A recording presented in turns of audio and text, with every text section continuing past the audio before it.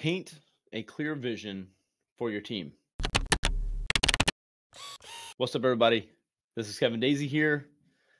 So, what I mean by paint a clear vision for your team is different than a typical mission or vision statement.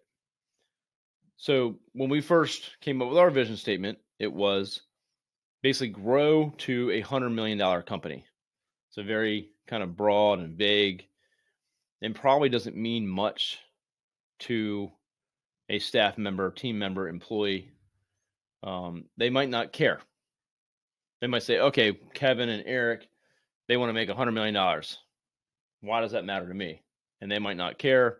They might not resonate with it. And they might be here for a different reason. Um, but they might not give a crap about that. But you need to have a vision that they care about and understand and can get behind. But for us, it was more, you know, we kind of knew what that could mean for everybody, but we didn't really put that into words and we didn't really communicate that well. So we actually went back to the drawing board. We talked about it, talked about it with our management team, and expanded upon that.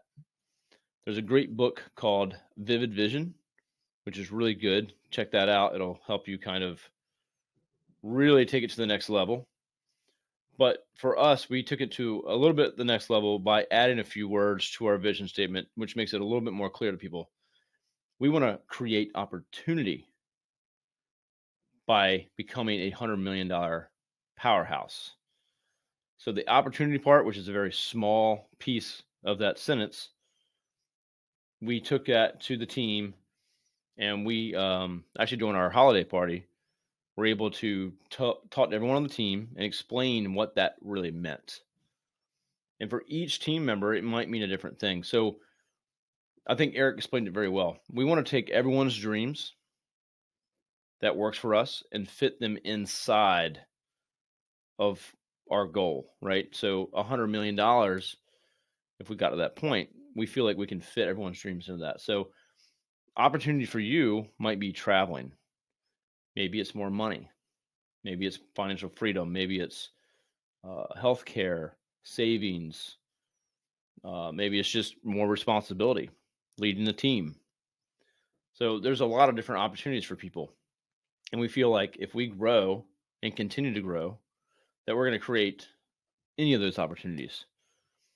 So the lowest level person in our company now, an intern, could be 10 years from now a C level executive, could be traveling around the country, could be opening other offices, leading regions, whatever, right? We don't know exactly what is going to happen in 10 years, but we know that we want to get to a certain place and we want to look ahead and say, I can see where we're going. And we see opportunity for everyone. So that's something we did is we made a small tweak to our statement. It's not just Eric and I's vision but it should be something that the whole company can believe in, get behind, and see that they have a part in that and they fit inside of that. So paint a clear vision for your team. Make sure they can feel it, touch it, and believe it. And then they're going to want to be part of that and they're going to be dedicated.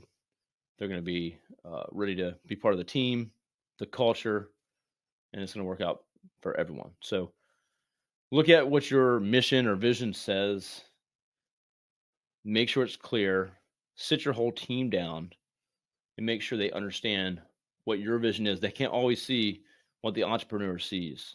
So make it clear, make it easy, and uh, it's going to make a big impact. If you find our episodes of value, consider taking it to the next level and check out our business growth mastermind. Go to arraymentors.com to learn more.